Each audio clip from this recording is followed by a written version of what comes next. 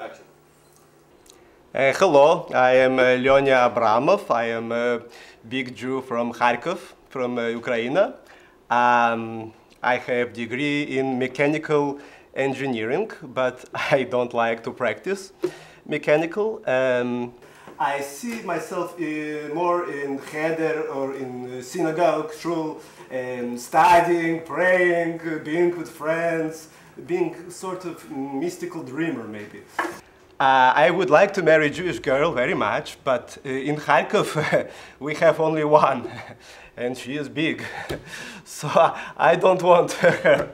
So I come to America, and I would um, like to meet girl like uh, my grand grand grandmother.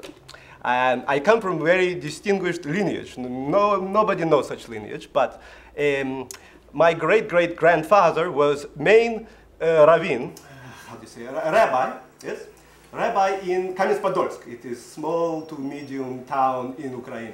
So he have wife, my great grand grandmother, and she give him 20 children, 10, 10, 20 children. And so she give and give and coming more and more. At the same time, she working uh, to cleaning house, to cooking meals, yes? Uh, she does not sleep. She making knitting mittens, do you know? Which she's selling later in um, marketplace in Kamensk-Podolsk. They have no horse because they are very poor.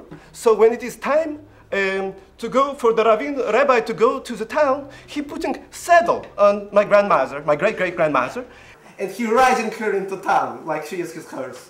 This is beautiful woman, and she satisfies the biggest commandment God sent to woman, because Jewish woman is luckiest woman in the world, because her job is to serve Jewish men.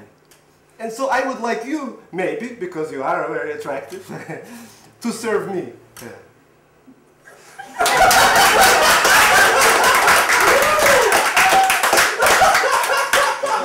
I like the first one more, but I guess you can.